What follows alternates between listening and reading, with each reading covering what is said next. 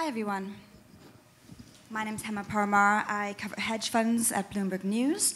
And I'd like to introduce our panelists. We have Chris Solarz, Jackie Rosner, and Arik Ben Dor. And um, as we were introduced, our topic today, the hedge fund conundrum. Why are funds struggling? Why are they not um, beating the indices? And what can they do to get better? So really, the first question kind of writes itself. um, you know, we, we see the S&P up 20%, more than 20% so far this year. Hedge funds up about 5 um, it's not new. We've seen them struggling to beat the indices for a number of years. Uh, why do you think that is? Why are so many hedge funds struggling? Chris, we can start with you. Sure. Hello, is this on? Um, well, hello everyone, and, and thank you for having me. It's great to be here. Um, so this is, this certainly is a conundrum. Um, we are at an all-time high of 3.3 trillion dollars in the hedge fund um, uh, in the hedge fund world, yet performance over the last five years, and particularly the past decade, have been very underwhelming. Um, probably the biggest reason is that we have been in a nearly runaway bear market for, for the past decade. And in a bear, in a sorry, a bull market. In a bull market, you want to be with passive. You don't want to pay an extra layer of fees, and you want to be long biased. So most passive managers have outperformed active managers.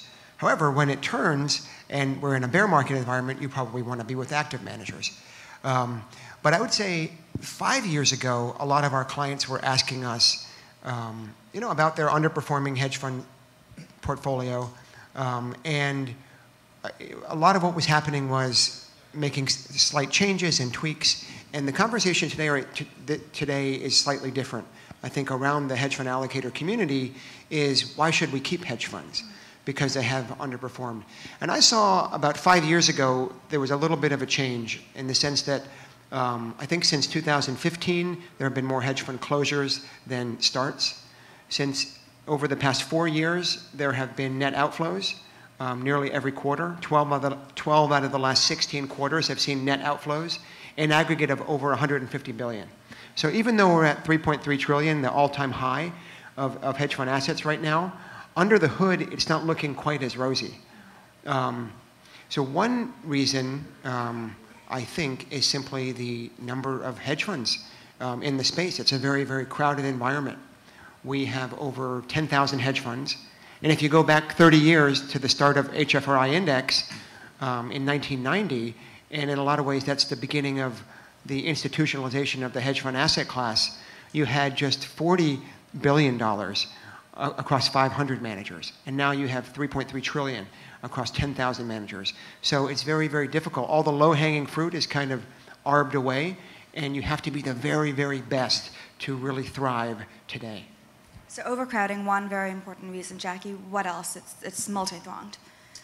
Uh, hi, everyone. Um, Jackie Rosner. Um, before I answer that, I want to say um, oh, Happy Veterans Day, everyone. I want to also give a big thanks to VDAC for organizing such a great event. Um, I looked up, by the way, a little trivia about the cutting room. One of the co-founders is uh, the famous actor Christopher Noth, who was on uh, Sex and the City, played the character Mr. Big. Well, today, as far as hedge fund conferences and events goes and getting people together, VDAC is our Mr. Big. So, you know, thanks for that. Um, I wanted to say about the challenges, yeah. about the challenges about what's going on with um, competing against passive and why have hedge funds been challenged.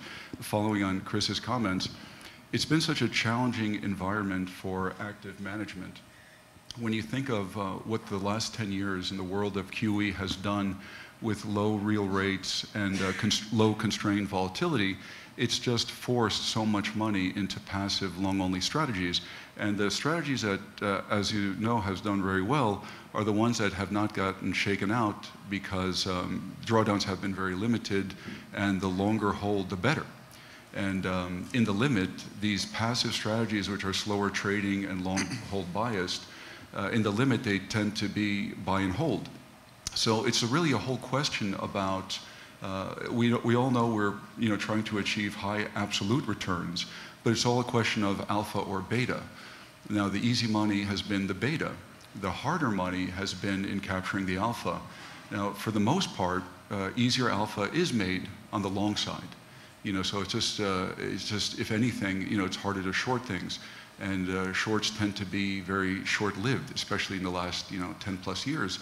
And so that's been the biggest challenge. The biggest challenge is uh, competing against equities. And if you have the choice, if you don't have to invest in hedge funds, the better choice would have been to be in uh, equities. But we see what's happening so many years later. Everyone's being even more and more concerned about the equity beta in their portfolio. So, you know, there are all these reasons to be concerned because, you know, this global expansion has been going on way over 10 years. Uh, we know it's been artificially, you know, uh, with these huge tailwinds of low real rates, and people are getting more and more concerned about, you know, what happens if and when rates ever reprice. So uh, the challenges are real. Um, is it fair to compare hedge funds to S&P? Maybe. There, there's many different benchmarks. Everyone has different benchmarks for different reasons.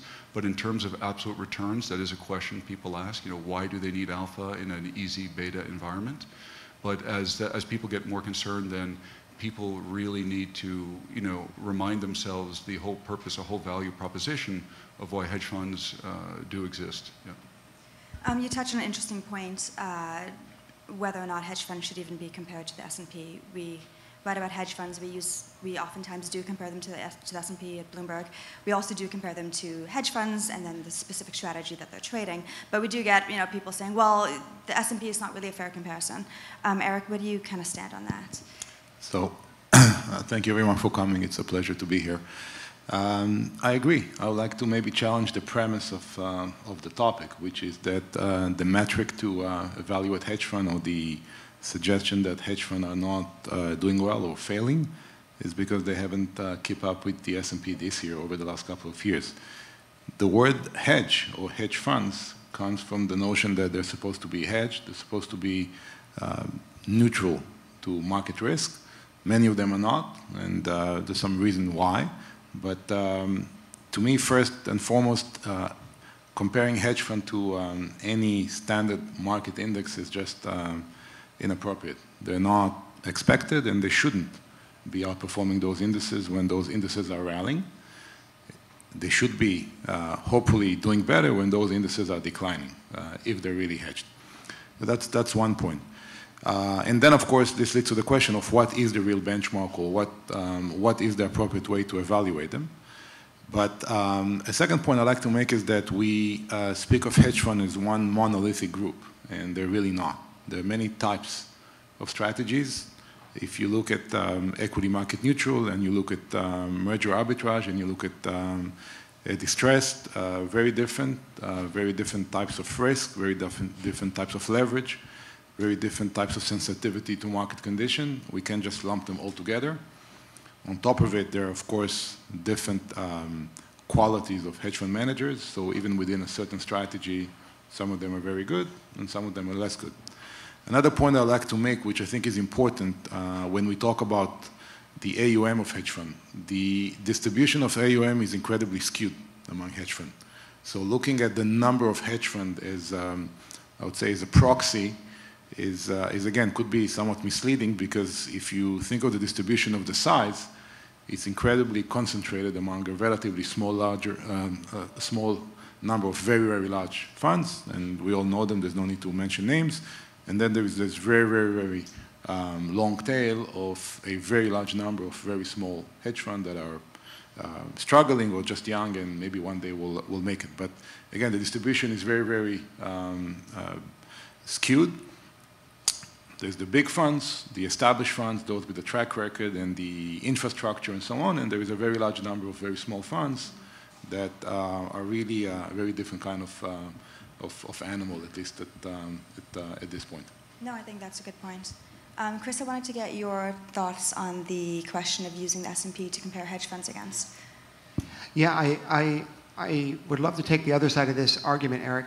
Um, I think what it boils down to you're, you are essentially arguing for manager selection and asset allocation within hedge funds. And not all the hedge funds are the same.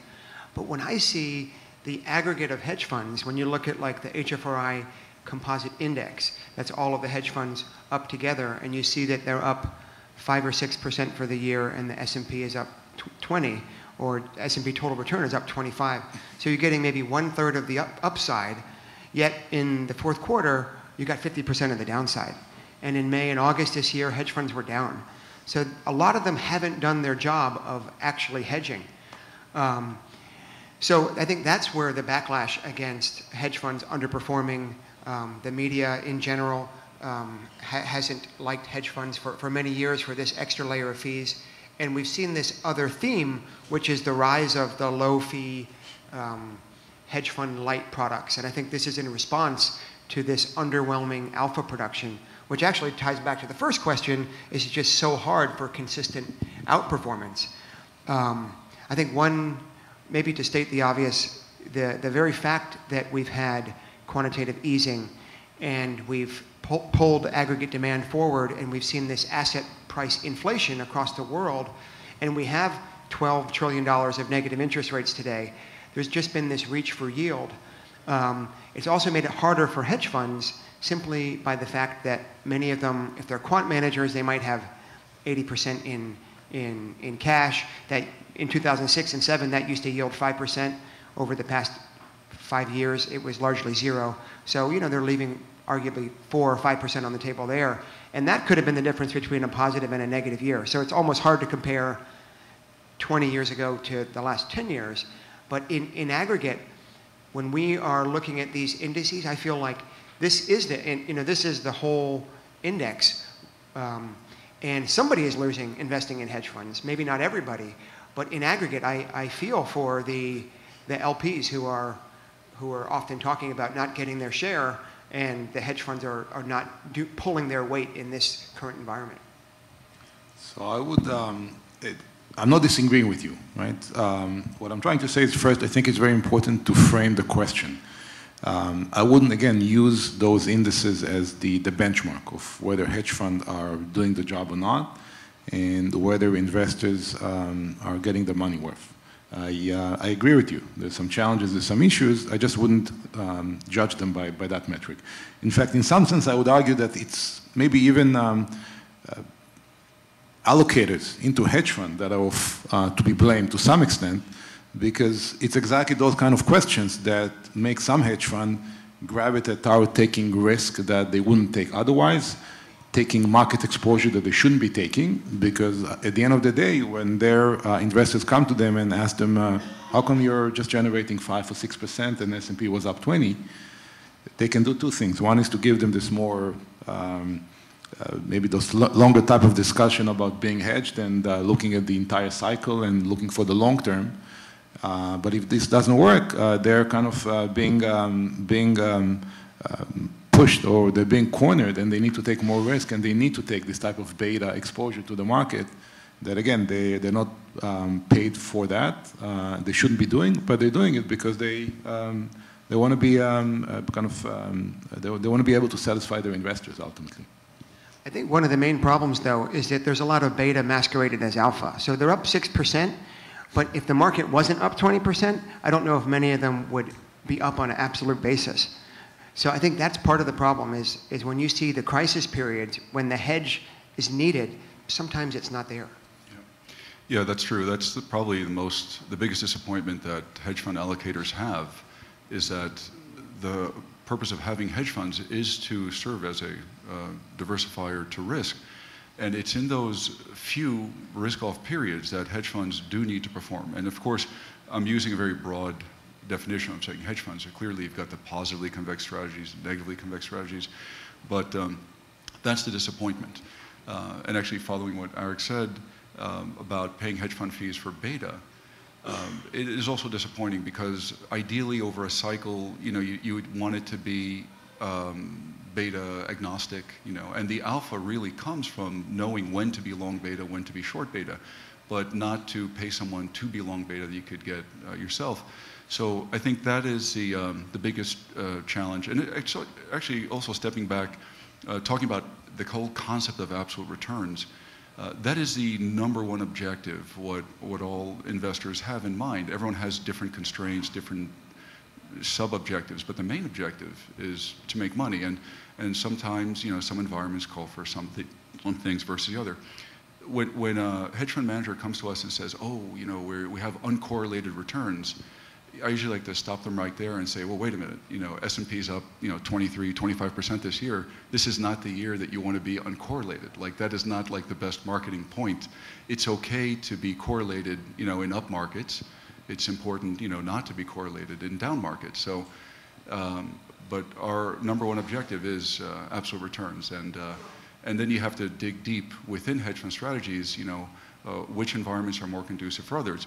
Uh, for a number of strategies, like a lot of the fundamental value-oriented strategies, managers are always, by definition, long or longer. Equity long-short managers have positive nets. They run it, you know, really usually two speeds, long or longer. Uh, credit, it's also long. Uh, event, it's long.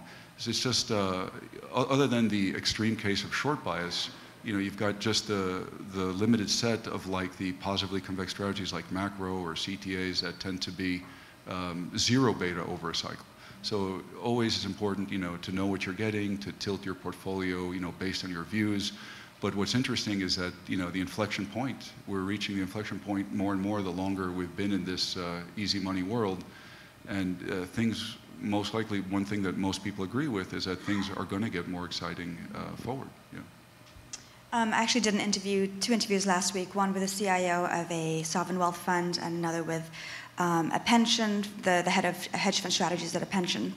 Both of them were um, to the point of your inflection point, you know, both were expecting uh, concerns moving ahead. They were seeing red flags. They're positioning more defensively, which for them meant um, increasing their allocation to hedge funds. I'm curious where you guys stand on, as you look forward, um, how that plays into asset allocation on your hedge fund side, but also what, what you see as you talk to your clients. Arik, we can start with you if you want. Yeah. So I think um, the um, what you echoed is uh, what I hear from uh, from our clients as well, uh, which is kind of the um, the other side of um, of um, the the argument I was making about not looking at an up market as the right benchmark. Hedge fund should really be looked at when uh, the market is down, when when you're in a period where hedge funds are supposed to benefit you and then, of course, some do and some don't. And uh, we have been in a very, very bullish environment over the last 10 years, or even a little bit more since the uh, great reversal after the financial crisis. So hedge fund didn't really have a chance to, uh, to shine, so to speak, given the, the, given the environment, and have, have lagged. Um, and, and the way it seems, and I think Videk um, uh, kind of uh, referred to that a little bit with all those uncertainties and challenges we have, definitely it seems that the environment is going to change and therefore hedge fund would, uh, would have uh, uh an opportunity to, uh, to show, showcase their capabilities. Chris, how are you advising your clients as you look forward? Like, could next year be the year for hedge, for hedge funds? Well, um, certainly. Um, what I see, you know, right now we are at an all-time high in equity markets, and it doesn't feel that way. There are so many things brewing. We've got impeachment trials this week. We've got the uncertainty of next year's elections, including if Warren um, takes uh, the presidency, perhaps equity markets will sell off 20 to 30 percent. Um, we've still got the ongoing Brexit. We've got riots in the streets in, in Hong Kong and in Chile. We've got a lot of uncertainty. It doesn't feel like we are hunky-dory and we're at this uh, continuation of the 45 degree angle that risk assets have gone for the last um, few years. Um, but we do have the Fed on our side. The Fed pivoted last um, earlier this year and started uh, decreasing rates, and we feel like the easy money will continue for, for some time. How it all ends, I don't exactly know. But we've never tried to get too cute about, um, about asset allocation. We like to outsource the alpha to our managers bottoms up. Um, I think it's the job of macro managers to really try to time the market. I think it's very, very, very challenging and nearly impossible to do well. So what we've done is we have a roughly 20% um, allocation. Within our hedge fund buckets, we have about a 20% allocation to the five major hedge fund strategies. And we call them long-short equity, long-short credit, event-driven, market neutral, and macro. Um, and at the margin, we have been, well, over the last few years, maybe three years, we've completely taken down anything that has a, a net bias. We want to be more neutral. The argument that the question that a lot of investors are talking about right now is what inning are we in with respect to this economic and financial cycle? And I think the question is, are we in the seventh or eighth or ninth? Nobody's really saying that we're in the early innings. Everyone knows that after 10 years, it's somewhat long in the tooth, and it's time to be prepared for um, inevitable healthy recession that um, will happen over, you know, in the, in the coming years. So what we've done is not do too much differently, except we're very protective. And we have seen an increase in truly orthogonal, idiosyncratic, market neutral type strategies. Um, quant strategies, reinsurance strategies that truly have nothing to do with, um, with financial markets. They'll be very independent, and you could easily see a very strong year when we have a weak year in financial markets, for example. So these are some of the, at the margin, what we're doing. But largely, we are keeping our portfolios very constant, and we already feel like we have found some very good managers that are able to make alpha throughout the market cycle. So staying the course for now. Jackie? So our focus is um, all on hedge funds. So we do have um, some rebalancing within hedge funds all the time, but our outlook is always 12, 18 months forward. But one thing that um, we believe, in our central case, is we still think that uh, rates are low and will remain low. There's not going to be any major repricing in rates, even though we have seen in the last six weeks or so, there's been a pressure for rates to uh, be ticking higher. Uh, we don't see like a massive repricing, but we do think there's going to be pockets of volatility. Volatility will, will be higher. We have tilted the portfolio a bit more in favor of the positively convex strategies rather than the negatively convex. So things like, for example, uh, quant equity market neutral as a, as a space has been quite challenged in this, you know, beta on year. When, when S&P is trading like a T-bill, it's just very hard to trade. Uh, things like quant equity has just been challenged as a whole. Uh, things like uh, fixed income relative value, all these like very much big convergence leverage strategy. We're just concerned as has gotten uh, the returns aren't there. But we do think like in a year like this year, for example, uh, discretionary global macro, it's up about 10% in a year where S&P is up, you know, 25%. Uh, this is unheard of. Most people would have thought that uh, things like macro and CTA is up 12% or something. People would have thought, oh, that only works in a risk-off year. But this is happening in a risk on year because there's been a massive bond rally. At one point, you know, from yield high to yield low, bonds rallied globally like 100 basis points. So the point is, you know, there are these, you know, interesting pockets of dislocations that happen that's not just, you know, only S&P related. So we do, we have favored uh, positively convex stuff. I mean, there, there's still plenty of opportunities. There's still plenty of dispersion, you know, even within equity long short, but we've taken down that as a space being concerned about the overall equity beta in portfolios. Uh, but there's still plenty of opportunities, you know, in structured credit, structured finance, um, and things like this. But I'd say uh, one notable tilt has been more in favor of positive convexity, that is more vol-friendly, mm-hmm. rather than being in the short vol. And, and, to your point, there are a number of winners that are out there. We see a lot of, you know, hedge funds sometimes get a bit of a bad rap, but there are a lot of good winners out there. Element, Rentec, Viking, you see some of these funds doing very well, able to charge 40% fees in some, some cases. So what are some funds that we see that are thriving, not just surviving, but actually doing very well? What are they doing that perhaps most other managers are missing?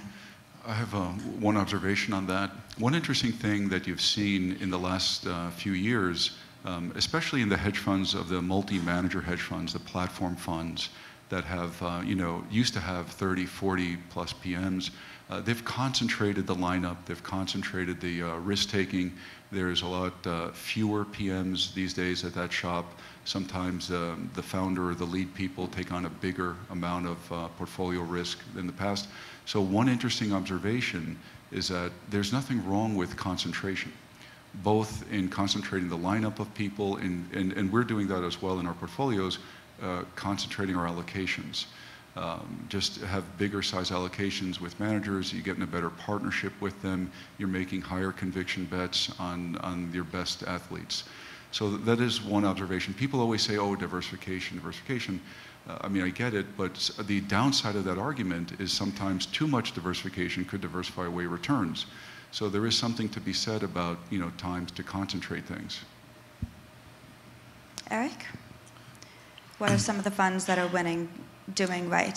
So I wouldn't, um, I wouldn't like to comment on any specific names, but one, um, one trend that um, I do see is the, um, is the use of um, alternative data, of machine learning, of, of new techniques. Um, and unlike what some people may, may think, this is not just limited to quant funds. It's across the board. It's just another tool. Uh, whether the ultimately the investment decision are made systematically or um, or um, uh, in a discretionary fashion, but the use of um, additional additional insight that come from different types of data, and there are many types of data from social media, from geolocation, from credit card, and so on, uh, augmented with some um, with some new technique that allow you to uh, to process this data more effectively and more um, um, in a more speedy fashion. Those all create some insights. Um, it's very challenging because if 30, 40 years ago we we're in an environment where you didn't have enough data, and really um, the challenge was how to overcome the lack of data to make the right decision. Now the challenge is kind of reversed. You have too much data, it's, um, it's costly to purchase, and it's even more costly to process in terms of, um, of, uh, of effort and, and having the right, uh, the right, um, uh, the right uh, kind of capabilities.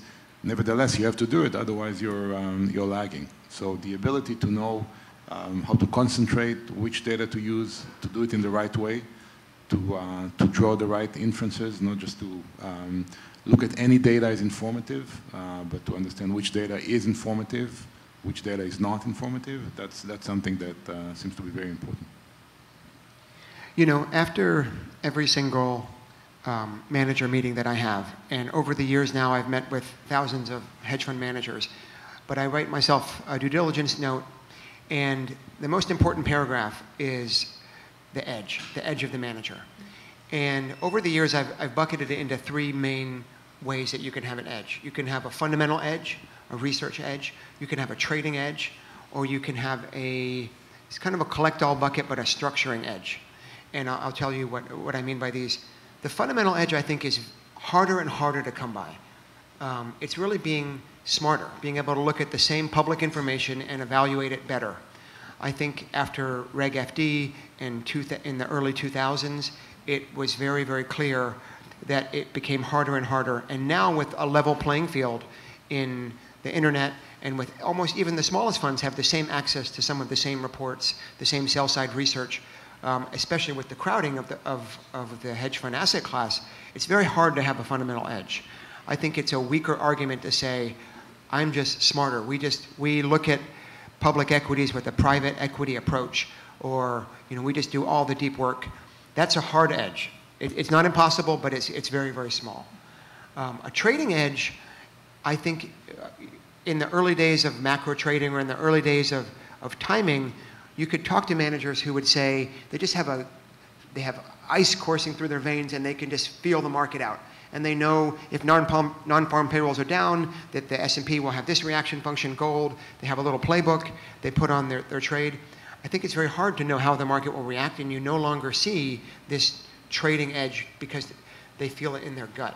I think a lot of that has gone to high frequency trading, who are faster and more nimble than, than the discretionary trader. So the only bucket I feel is left is something like having a real aha edge, like you have access to alternative data. You have access to different types of resources that maybe others don't. So this does give a nod to some of the larger quant managers who have bigger R&D budgets. But it could be as simple as having a structuring edge. You're looking at the options market and you're playing a long short equity, long short equity fund with an overlay of simply using the options market as a way to trade or in, in some other structuring way. It could be a, a risk management way, or it could be simply that you um, are in an opportunity set that is more fruitful than trying to be a generalist long short equity uh, fund, for example. I'd like to add on the um, talk on the big data. Uh, it's true that the, the large quant funds do have the resources to address that, uh, you know, intelligently and, and properly, because it, it does take a lot of infrastructure to do that right. And there's, you know, it's, it's quite a buzzword a lot. You hear that from a lot of managers, especially quants, but also even some discretionary managers like to talk about their access to these, you know, great data, big data and everything. Uh, but just one interesting observation, you know, big data, if it fits in a spreadsheet, it's not big data. You know, if it, it takes a lot of you know bigger resources and R&D budgets to, to do this right. And when we go in and meet with these managers, we always you know we want to see the technology and we get to compare it with what we see with other people. And it's interesting that um, even with the access to this stuff and doing it right in terms of you know cleaning the data, execution, risk management, everything, uh, it's still challenging, right? Not everyone with big data doesn't necessarily imply big returns. And sometimes, I mean, data is just data and it's not information. Sometimes, you know, you see people with uh, fewer data, limited sets, uh, get remarkably different answers from analyzing the same data. So it's an important tool and it, it helps, you know, certainly, but it's certainly, you know, not 100% um, correlated uh, to success. We've seen, you know, a lot of challenges with that. We, can, we continue to see people start their own hedge funds in, in this environment. Um, oftentimes we see fundamental, um, fundamental equity hedge funds, bottoms up.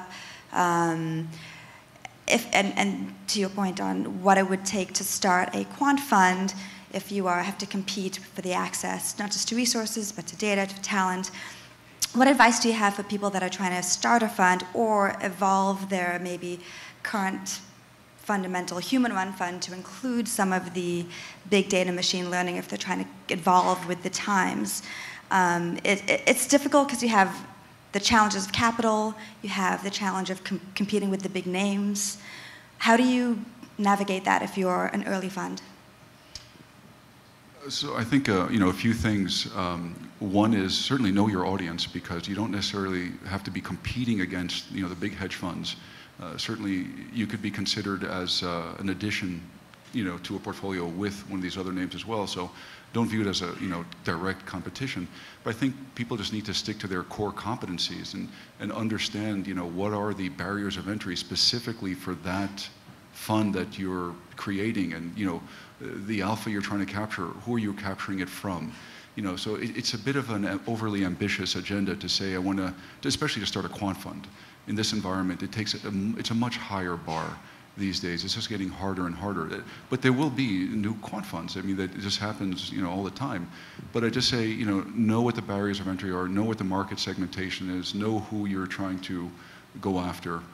But don't view it as like a head-on competition to the big ones because uh, that's going to be too challenging. The big ones, as you've pointed out, you know, have attracted a lot of capital. They continue to do so. Um, but I mean, you know, the market always evolves. Uh, people, new entrants uh, come and go all the time. Um, I think another interesting thing is the use of private equity and private wagers. Like we've seen some of the newer funds that started up the past few years have a private book, um, and some are making money or were maybe not so much now making money off the back of like Juul or Peloton. Um, I'm curious if we, as we look at the evolution of this industry, of the hedge fund space, we see more hedge fund private equity, we see more interest. Like, what, how does it look for you, I guess, down the road? Do you want to take that one, Chris? Yeah, sure.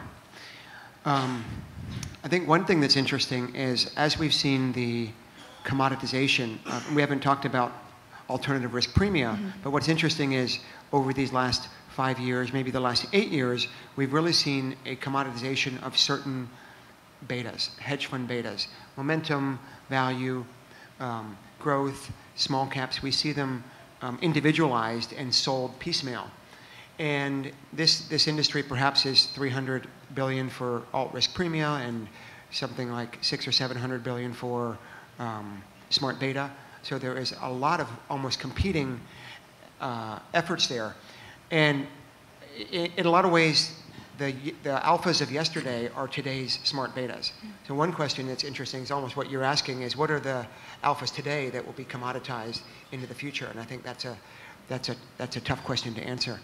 But one of the, to, to your question specifically, um, we saw this prior to 2008, that a lot of the liquid hedge funds were almost, they were coerced in, in a sense, no, not coerced. They were incentivized to put um, juicier, long-dated returns in their portfolio in a way to keep up with the high returns in the frothiness at the very tail end of the 2006, 7, 8. And it had um, adverse effects when a lot of the funds were um, far below their high watermark. They had to side pocket, they had to gate investors, and um, it led to a lot of tears because a lot of these privates were illiquid. So this is a, probably a worrying sign if we see an increase in level three assets or an increase in privates within the liquid hedge fund portfolio. So as a consultant, we see, and I think we like to put everything cutely into buckets. In the hedge fund bucket, I think things should be very liquid because ultimately you can redeem it, you know, within uh, foreseeable time. You can get your money back. It's your money. When you're investing in private equity, then you're investing for seven to ten years, and you know you know the game there. But I, I um, ultimately we don't like to see um, the rise of privates within hedge fund portfolios. So some, some observation I have is one, uh, we see a convergence, if you will, between hedge funds and more traditional type managers. There's some well-known hedge fund managers that um, have uh, introduced long-only type mandates or um, uh, more kind of traditional or exotic type betas um, to, um, to investors as a way to increase, um, increase kind of the, the offering and maybe to create a more diversified um, business, uh, business proposition. And then there's some long-only managers that have internally hedge fund-like pools of, of assets that are managed in a, in a way that is, uh, is, uh, is similar to a hedge fund, whether it's to maintain um, talent internally or just to diversify um, and, and be able to access hedge fund-like return in a, in a more economic way. That's one, uh, one, uh, one observation. Another observation um, has to do with, um, with, um, with the fact that um, this notion that passive investing is necessarily a threat to hedge fund may not be um, totally right. Increase in passive investing means that there is more capital which is invested in a rule-based systematic way. But it, everything which is rule-based means that it's also predictable. And some of this capital is invested in a rule-based way, which sometimes is not driven by economic uh, consideration. In other words, if we look at indices, um, both in uh, credit and in equity, there's some behaviors of um, passive um, investment vehicles that follow indices and follow known in advance uh, construction rules, which are not economically driven. And there's a number of, of examples. Um, those behaviors or those inefficiencies can be exploited they're known in advance, and uh, they actually uh, present opportunities to whoever can take the other side, whether it's in equities, uh, rebalancing, and other types of behaviors, in, um, in credit, uh, downgrades from investment grade to high yield, and, and so on. We have a lot of those examples that um, can, be, uh, can be taken advantage of, and therefore, again, an increase in passive investing also presents opportunities to active managers, not just hedge fund, but uh, whoever can uh, essentially um, bypass the, uh, the constraint that rule, fully rule-based type behavior um, is, is presenting. Jackie, do you have thoughts on the use of passive investing? Um, yeah, so there's certainly nothing wrong with it. Um, it certainly is a very viable tool as a, as a complement. Some people use as substitutes. Just the important thing is to know what you're getting because a lot of these strategies are um, run by hedge funds, but they're certainly not hedge fund strategies. So there's nothing wrong with it, but just you know, it's priced accordingly because there's uh, there's less trading involved. It's uh, it's less alpha, but again, as long as you know what you're getting into, it's totally fine. And I don't think any of this stuff is going to lead to like a big unwind or anything like that, because um, it's not that it's crowded. It's just that it's um, it's long, these passive things. And um, right now, that, it, that would be the biggest pain trade right now, since uh, stocks at an all-time high, so much money has, has just flooded into bond funds this year. So the biggest pain trade now would be a sell-off in both stocks and bonds. So the passive uh, will have a hiccup. And actually, so will hedge funds too, because they're not a long bias now. So unfortunately, there could be a drawdown before uh, people are reminded, you know, the value proposition of hedge funds, you know. But just another observation, what happens uh, in the search for yield in this environment, in this world of QE, and it forces people into uh, returns, um, people dabble a little bit uh, also on the liquidity spectrum. And sometimes some of these passive things might be, you have to know what you're getting because sometimes you see hedge fund managers dabble with like private credit and things like this. and some of these bonds trade by appointment. And uh, the next mini pullback in the markets could be another liquidity uh, type event. Uh, not necessarily a big one coming, but just like it, it, you could wake up one day and you know stocks could be down five percent because I mean they just could be sparked from some you know risk-off selling as people are getting out of some liquid. So it's certainly um, just basically know what you're getting, but it certainly is a very valid and viable tool, especially in a world where people are so concerned about fees. I mean, these things are priced accordingly, and everyone has a fee budget.